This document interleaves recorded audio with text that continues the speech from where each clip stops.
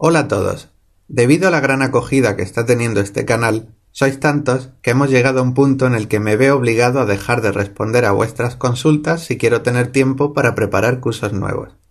Y como a partir de ahora no voy a poder ayudaros directamente con vuestros problemas, he decidido hacer este vídeo en donde os voy a dar una serie de consejos que os ayudarán a sacar el máximo partido a este curso, de forma que podáis terminarlo sin la ayuda de nadie. Así que es muy importante que lo veáis entero. Hacer videojuegos con Unity requiere tener unos conocimientos mínimos de programación. Si no los tienes, tendrás problemas hasta con el código más sencillo. De modo que si no sabes nada sobre programación, lo primero que deberías hacer es terminar el curso que tengo publicado de Introducción a la Programación con C Sharp en Unity. Si no, en cuanto lleguemos a la parte en la que se empieza a utilizar la programación, estarás copiando texto que no sabrás ni cómo funciona y todos serán problemas. Por tanto, avisado estás. Si tu deseo es crear videojuegos, invertir tiempo en tener unos cimientos fuertes es la mejor inversión que podrías hacer.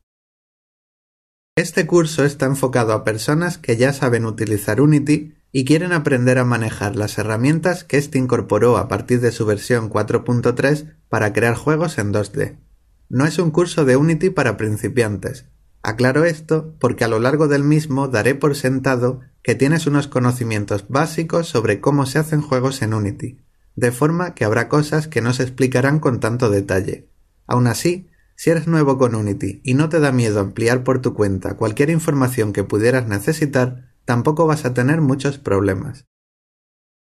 Seguir mis tutoriales es como hacer una operación en una calculadora. Siempre obtendrás el mismo resultado mientras pulses los mismos botones. Si en algún momento obtienes un resultado distinto al que se ve en los vídeos, te puedo asegurar al 99,99% que es porque algo se te ha escapado o no has hecho igual. Tendrás que armarte de paciencia y volver a revisar todo con más calma. Si en los tutoriales se escribe una letra en minúscula, tú la deberás escribir en minúscula. Y si se escribe en mayúscula, tú la deberás escribir en mayúscula. Deberás hacer todo exactamente igual aunque puedes usar otros gráficos, música, sonidos y tipos de letra, ya que estos no afectan a la funcionalidad resultante. El software utilizado en estos cursos puede haberse actualizado y es posible que ciertos elementos hayan cambiado de posición o de aspecto.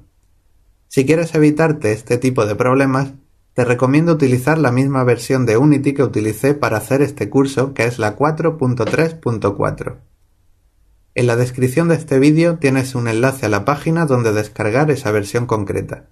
Así tendrás una cosa menos de la que preocuparte ya que todo se verá y se hará exactamente igual. Es muy importante que te leas las descripciones de los vídeos ya que éstas tendrán toda la información extra que pudieras necesitar. En ellas encontrarás enlaces para descargarte todos los recursos utilizados, consejos, soluciones a problemas que pudieras tener, enlaces para descargarte los scripts tal cual se quedaron después de hacer cada capítulo, y un enlace situado en la descripción del último vídeo para descargarte el proyecto completamente terminado. Con toda esta información no tendrás excusa para no poder solucionar por tu cuenta cualquier problema que tengas, ya que si no está explicado en la descripción, tienes los códigos fuente y el proyecto completo para compararlo con lo que tú has hecho y así ver qué te has dejado o qué has hecho distinto. Tampoco te olvides de ver los vídeos con las anotaciones activadas ya que mostrarán información muy importante que deberías tener en cuenta y que en el momento de grabar el vídeo se me olvidó comentar. Asegúrate de entender todo lo que se hace en un vídeo y por qué se hace antes de pasar al siguiente. Si haces las cosas sin entenderlas, luego no serás capaz de crear nada distinto a lo que se explique en este curso. Para terminar, te presento esta comunidad que he creado en Google Plus llamada Hagamos videojuegos. Será un espacio en el que podrás conocer a más gente interesada en el desarrollo de videojuegos y así compartir y descubrir cualquier cosa que sea relevante y de acceso gratuito. Intenta ser respetuoso con los demás y si publicas un mensaje nuevo, márcalo en la categoría que le corresponda. Como ves, tienes todo lo necesario para solucionar por tu cuenta cualquier problema que pudiera darse mientras sigues este curso. Si se diera el caso de que tuvieras un problema y por mucho que lo has revisado no logras encontrar una solución, puedes pedir ayuda a los demás usuarios de esta comunidad. Eso sí, recuerda que es una comunidad, no un consultorio, así que intenta también ayudar a los demás en la medida de lo posible. Aclarar que aunque no responda a los comentarios o mensajes, me los seguiré leyendo todos, ya que vuestro feedback es siempre muy importante.